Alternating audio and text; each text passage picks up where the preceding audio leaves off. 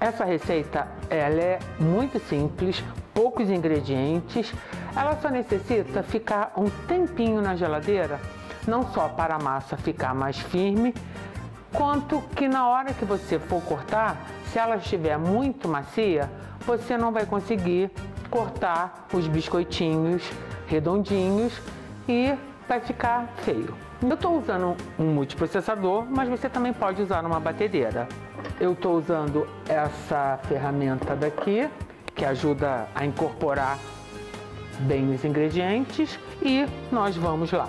Eu tenho 100 gramas de manteiga com sal. Eu sempre gosto de usar manteiga com sal nas minhas preparações de doces, porque eu acho que o sal ele dá um certo tchan nos outros ingredientes. Então, a dica é a seguinte: se no caso a sua manteiga for sem sal, coloque uma pitadinha de leve de sal na massa. Inicialmente, nós vamos bater primeiro essa manteiga e o açúcar. Então, ó, vou colocar a manteiga aqui. E aqui eu tenho meia xícara de açúcar demerara. Você pode usar qualquer outro açúcar. Eu só não recomendo que você use o açúcar mascavo, principalmente se você for fazer os biscoitos clarinhos. Se você prefere os biscoitos mais doces, agora preste só atenção. Se você quiser mais doce, é só você aumentar o açúcar. Só que se você for usá-lo como bem casado, preste atenção à quantidade de açúcar que terá o seu recheio para não ficar um biscoito enjoativo. Então agora nós vamos fazer um barulhinho, que eu quero incorporar bem esse açúcar na manteiga.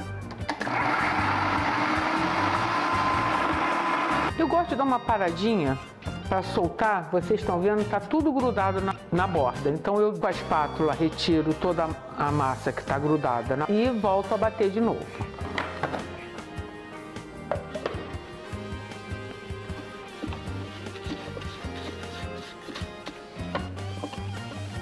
Também prefiro usar a manteiga já amolecida, porque eu acho que ele fica mais fácil de ser incorporada. Então a minha dica, ou você deixa no sol, coberta, que o sol vai amolecê-la, ou você pode amolecer no banho-maria, no fogão, ou mesmo no micro-ondas.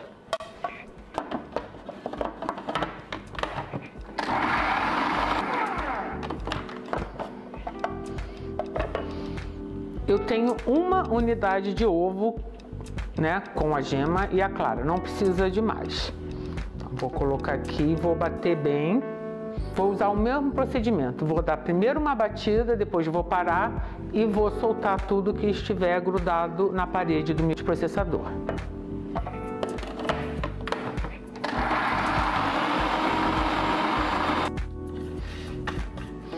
Agora aqui eu já soltei tudo e eu vou bater bem essa mistura até que ela fique mais clarinha para o açúcar ajudar a dar uma dissolvida, principalmente o açúcar demerara e no caso o cristal, que eles são aqueles grãozinhos e não igual o açúcar refinado que já é um pó.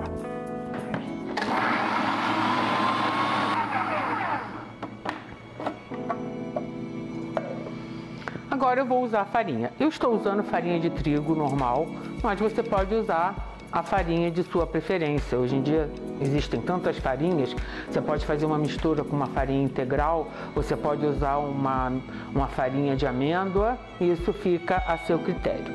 Então aqui eu tenho 250 gramas, que na realidade é uma xícara e duas colheres de sopa de farinha. Eu vou colocar metade e aquele mesmo procedimento. Vou bater, bater, bater, liberar tudo das bordas, vou adicionar a outra metade até que forme uma bola dentro do próprio multiprocessador.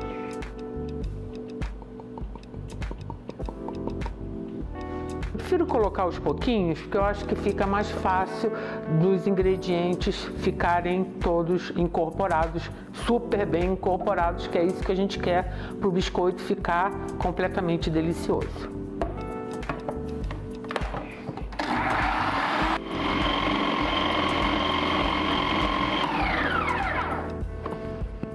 Vocês podem ver, estão unidos, venceremos. A massa com a velocidade do multiprocessador foi né, incorporando todos os ingredientes e agora eles estão.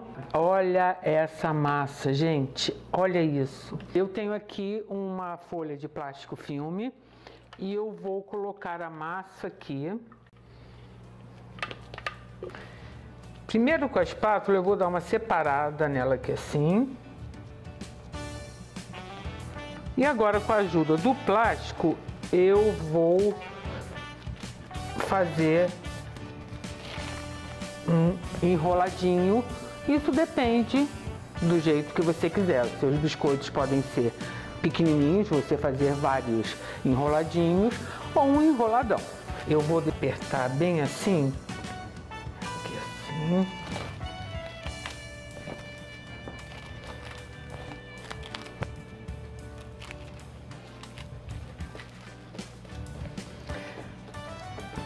Ela é bem molinha essa massa, como vocês estão vendo. Então agora aqui é só a gente enrolando.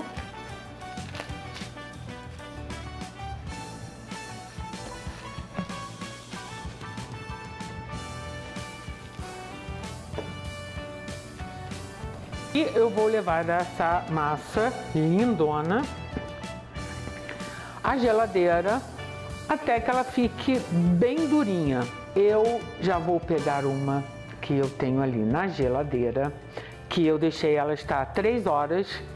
Eu fiz e deixei ela estar 3 horas e está durinha. Eu até já dei uma cortadinha para ver como é que ela se comporta, porque você mesmo que você não queira cortar ela em rodelinha, ela tem que ir para a geladeira porque vocês viram ela é muito mole. Então, mesmo que você queira de repente usar um cortador tique ou forminhas, tipo hoje em dia tem esses cortadores maravilhosos, ou então várias forminhas, essas de borboleta, essas de bolinha. O que, que você vai precisar fazer? Depois que a massa descansar na geladeira, você vem com duas folhas de plástico, coloca a massa no meio, né, de uma, de uma folha, com a outra você cobre e com um rolo de macarrão você vai afinando a massa até que ela fique fininha e você pode sair passando o cortador ou então cortando as borboletinhas. Porque desse jeito você não consegue fazer nada, porque vocês viram como ela está molinha. Então eu vou ali pegar a minha massa e vou mostrar para vocês como ela ficou. Aqui eu tenho a minha massa geladinha.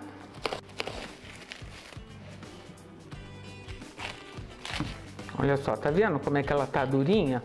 Aqui no caso, se eu quisesse, eu iria abrir, mas eu vou cortar com a faca em rodelinhas. A espessura das rodelinhas fica a seu critério. Agora, preste atenção, se você cortar umas rodelinhas muito fininhas, fique de olho no forno, porque senão é capaz de, se você não tomar cuidado, queimar. Então a minha são duas dicas que eu vou dar. Primeiro, use esses tapetinhos de silicone que eles ajudam a proteger, não só evitar que possa queimar como grudar, como também a temperatura do forno tem que ser bem baixinha, mas mesmo assim, igual aquela história do leite que você bota para ferver, fique de olho, porque é só você olhar para o lado, danou. O leite, às vezes você ainda consegue aproveitar, agora o biscoito queimado não tem jeito.